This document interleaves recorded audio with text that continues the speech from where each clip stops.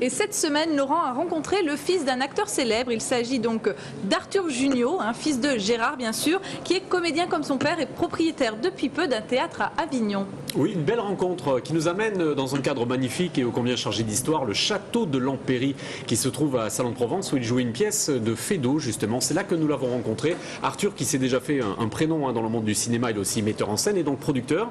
Et il a tout récemment investi avec ses copains dans une belle aventure euh, artistique puisqu'il a fait l'acquisition d'un théâtre qui s'appelle Les Béliers en Avignon. Eh bien, il nous explique justement en, en premier lieu cette belle aventure qu'il a menée avec ses copains. Nous sommes en plein cœur de ses activités artistiques et ce sont toutes les passions que nous allons partager de notre people de ce jour, Arthur Junio. On l'écoute. Regardez comme euh, Marseille est pluriculturel, euh, nous on est pluridisciplinaire. C'est des mots à plus de 4 syllabes, hein, c'est un peu compliqué.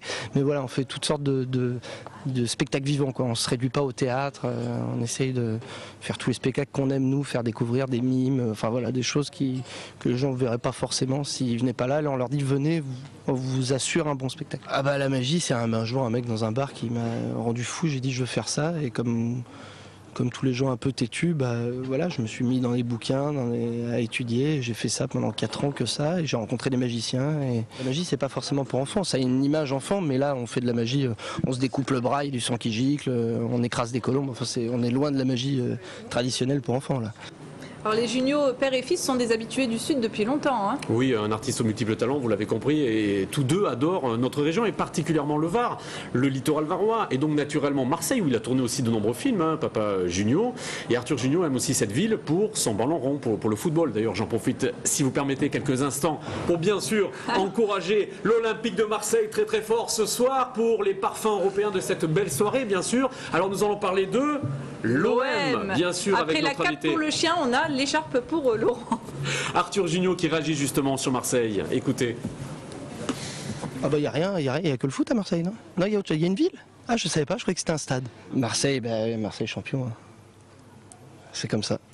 Non, moi je suis de la génération qui ont connu les Waddle, les, les polis, les, les, les bolis, les pelés, les, voilà quoi, les, amoros, les papins, les cantona, voilà. C'est 92, 93. J'aime beaucoup, j'aime beaucoup Marseille. Euh, c'est avec le soleil quoi. Comme pour tout, tout, mec qui habite au-dessus de Lyon, de toute façon, euh, Marseille c'est le soleil, c'est la canebière, euh, c'est la mer c'est les calanques. Moi, je suis très, voilà, moi, je passe ma vie dans le Var tous les étés, dans la maison de papa, évidemment. Ah, j'en profite, il y a une belle maison.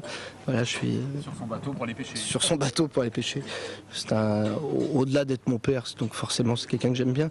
Euh, je, je suis très euh, très épaté par les films qu'il fait, très admiratif. Donc quand je travaille avec lui euh, en tant que metteur en scène, bah évidemment. Je, suis plutôt content parce que je trouve que c'est quelqu'un qui fait des belles choses. Donc, donc voilà, ouais. Arthur Gignot, fier de son papa, et puis euh, dans l'actualité de cette rentrée, il est au théâtre de la Michaudière à Paris pour une pièce qui s'appelle À deux lits du délit, mais on le retrouvera très bientôt une nouvelle fois en tournée dans notre région, Claire.